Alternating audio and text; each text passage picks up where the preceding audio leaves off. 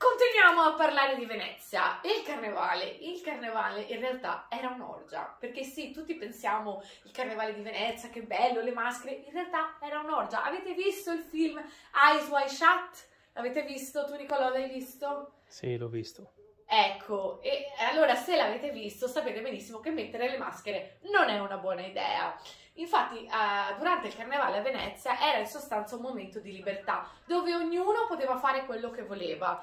Quindi, in sostanza, potevi tradire tua moglie e tua moglie poteva tradire te, ma molto di più. Potevi eh, anche uccidere qualcuno e tutto si risolveva durante il carnevale, in quanto la maschera copriva anche legalmente. Quindi, per esempio, se avessimo avuto il problema di Putin, semplicemente durante il carnevale ti mettevi la maschera, lo ammazzavi e boom, chi è stato? Ah, quello con la maschera. Ti giri c'erano tutti con la maschera, quindi non potevi sapere chi era stato. La stessa cosa se volevi uccidere la tua suocera o inchiappettare il, il fratello di tua moglie, potevi fare quello che volevi.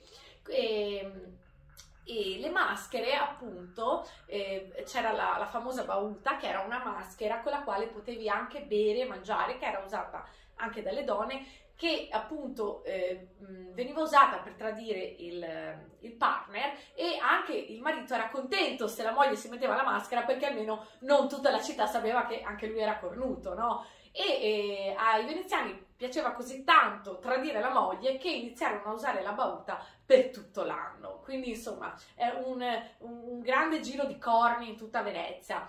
E c'era la maschera gnaga che serviva per identificare gli omosessuali, quindi vedevi questa bella gnocca vestita da donna, però se aveva questa maschera che era a forma di musetto di gatto, capivi che sotto c'era la sorpresina o sorpresona, in, in base ai casi, insomma.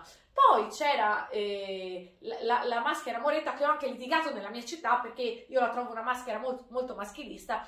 E praticamente questa maschera si regge, si tiene su con la bocca, quindi chiudendola con la bocca, chiaramente non puoi parlare se ce l'hai in bocca. E quindi serviva a, a, realizzare il sogno di ogni uomo, cioè tenere la donna zitta. Quindi tu con questa maschera addosso dovevi per forza stare zitta e secondo qualcuno era un gioco di seduzione. In realtà era sempre per lo stesso motivo, cioè che i mariti non volevano che si sapesse in giro che le mogli li cornificavano. Però in più era anche molto utile perché, per esempio, quando dovevano portare le cortigiane a eh, trovare le, le, sorelle suore in convento, eh, per non far ciccare le suore, perché se le cortigiane parlavano tantissimo, bla bla bla bla bla bla, allora magari la cortigiana avrebbe detto alla sorella suora che non poteva uscire, che era costretta a stare in convento, ah sai, ieri ho fatto sesso tutto il giorno, mi hanno anche pagata, e siccome la suora si sarebbe strappata il velo dalla rabbia, gli mettevano questa maschera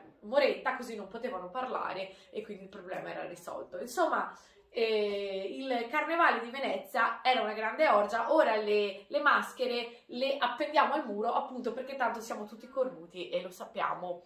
Ok, allora, eh, quanti minuti è Nicolo?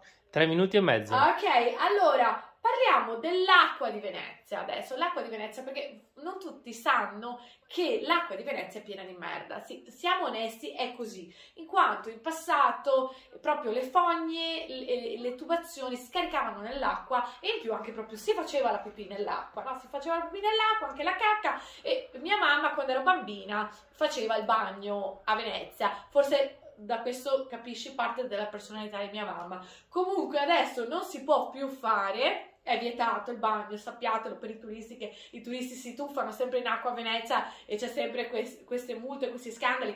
Mm, secondo me sono anche fin troppo coraggiosi perché insomma per avere il coraggio di fare il bagno in quell'acqua verde con le pantegane io li ammiro sinceramente, quindi se volete fare il bagno a Venezia io vi appoggio pienamente. Anche adesso, chiaramente, eh, le, le, eh, fognature non scaricano più nell'acqua, però comunque i tubi sono un po' rotti, non siamo più bravissimi in queste cose, quindi c'è un'altissima percentuale di eh, materiale, diciamo, eh, organico, insomma, di merda nell'acqua a Venezia ed è per questo motivo che non è consigliabile fare il bagno perché puoi prendere la leptospirosi che è una malattia che c'è praticamente solo a Venezia. A Venezia abbiamo anche delle pantegane enormi e abbiamo anche i pesci con tre occhi. Infatti eh, vicino c'è Marghera, forse non lo sapete, però oltre ad avere la città più brutta del mondo, Mestre, abbiamo anche la città più inquinata del mondo che è Marghera a due passi da, da Mestre ed è per questo che appunto abbiamo delle vongole giganti che nessuno può mangiare, però ci sono i cinesi che vanno a prenderle e sono tipo grandi così e poi ce le spacciano per eh, co- cozze, vongole eh, asiatiche, eh, in realtà sono semplicemente di marghera e sono grandi perché sono radioattive. Quindi mi raccomando, se andate dai cinesi eh, a Mestre, non vi fidate se le cozze superano questa dimensione, va bene? Allora, eh, noi abbiamo tutta questa merda nell'acqua, però come sapete abbiamo anche l'acqua alta, che ora è parzialmente risolta dal Mose, ma insomma neanche più di tanto, perché per alzare il Mose servono 330.000 euro, quindi non è che lo alziamo molto spesso. Quindi c'è quest'acqua piena di merda, che puzza di merda verde, che viene su, viene su, viene su. Io andavo alle superiori a scuola e immaginatevi, avevo questi stivaloni, no, da, da pescatore, anche un po' sexy, quelli verdi, e tu camminavi, camminavi, camminavi fino a quando io sono anche bassa, quindi per me era anche più facile perché essendo bassa l'acqua arriva prima, a un certo punto ti, ti, ti entrava l'acqua dentro questi stivali e capivi che era la merda e la lectospirosi che, che entrava dentro a, ai tuoi piedi. Ma c'è qualcosa ancora di peggio, i sacchettini che vendono per i turisti che eh, praticamente quelli hanno già il buco, cioè si divertono i, i veneziani o, o, i marocchini che li vendono perché appunto compri questi sacchetti per eh, difendere i tuoi piedi dalla, dalla merda dell'acqua alta, tu li metti e sono già bucati e quindi cap- Venezia è la città più bella del mondo, però è anche la più puzzolente, ecco, diciamolo.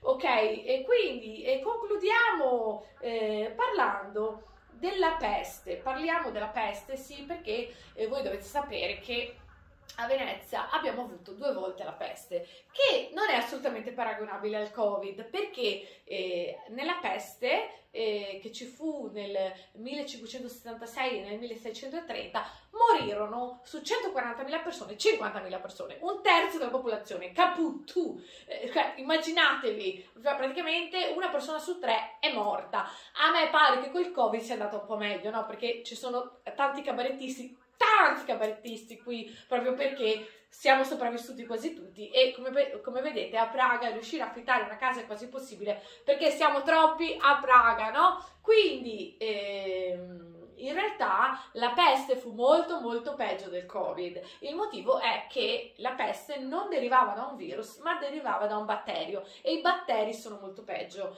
perché sono molto più violenti, però derivano dalla sporcizia. Infatti Venezia appunto non è una città molto famosa per essere pulita. Le, per esempio il famoso Casanova, che conoscete tutti, l'uomo che conquistava tutte le donne a Venezia, non era famoso per, per, per essere profumato, puzzava da morire, perché a Venezia se ci si lavava una volta al mese era già un miracolo e quindi eh, c'erano queste pantegane, queste pulci, questi piccioni che ci sono tuttora e, e, e quindi la, la peste si diffuse. Però, malgrado fosse così mortale, il governo veneziano, il Doge, decise di tenere tutto aperto perché ci teneva l'economia, ci teneva il turismo. Quindi io dico, se per caso arriva un altro virus, un altro Covid, eccetera, la variante della variante del Covid, io propongo assolutamente di eh, avere un doge, io voglio il ritorno della Serenissima, voglio che ci sia qualcuno come il doge a comandare, così terrà tutto aperto. Ma oltre a questo, avevamo queste maschere bellissime, non so se avete presente il dottore della, della peste eh, che eh, sono decisamente meglio delle mascherine, no? Infatti ancora adesso ci sono dei gruppi di musica punk rock che usano questa maschera, il dottore della peste, insomma noi eravamo molto più creativi e poi durante eh, la peste abbiamo creato due bellissime chiese, il Redentore e la Basilica della Salute e abbiamo fatto questa fighissima festa al Redentore con i fuochi d'artificio per festeggiare, invece noi dopo il lockdown abbiamo fatto la guerra e abbiamo aumentato le bollette. Quindi io mi auspico il ritorno della Serenissima, viva la Serenissima, sono orgogliosa di essere veneziana. Ciao ciao a tutti da Francesca!